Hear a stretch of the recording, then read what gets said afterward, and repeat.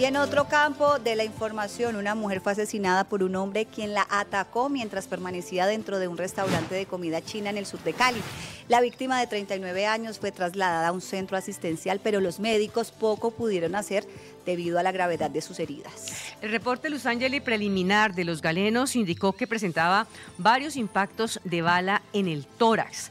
Y aunque hay quienes están catalogando este caso como un nuevo eh, feminicidio o un caso de violencia contra las mujeres, hay que esperar que las autoridades nos cuenten cuál es el motivo, si, ella, si era ella el objetivo de este ataque o era su acompañante y se equivocaron, o eh, por qué razón la mataron, solo si tiene que ver con el género, si dio feminicidio, y eso hay que esperar que las autoridades nos lo cuenten. Sí, que haya las investigaciones.